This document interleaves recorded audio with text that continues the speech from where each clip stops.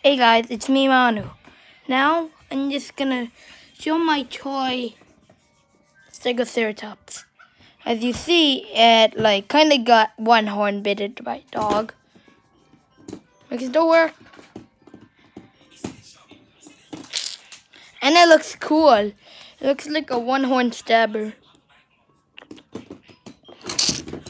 Better than both Triceratops and Stegosaurus.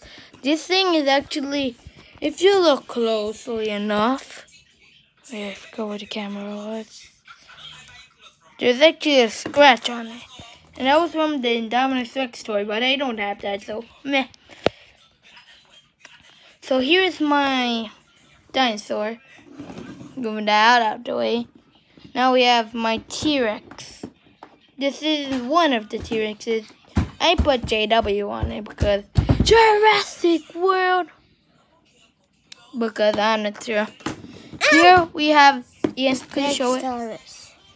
This a big stegosaurus can walk in the Jurassic World. Yeah, Ian. Be quiet now. And now here's Ian's T-Rex. He got it like oh, a week ago or something, and it looks horrible. This is Oh, the Brachiosaurus. This is my Brachiosaurus. Got this Yeah, it looks pretty good. Here's our volcano.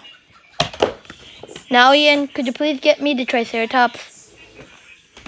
Okay. Here's the Triceratops. Here's the Protoceratops. Here's the Protoceratops. A Nanucosaurus.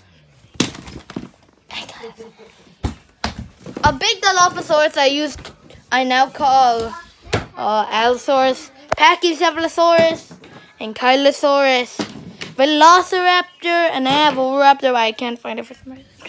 Spinosaurus, Gallimimus. Obviously, I have all of the dinosaurs.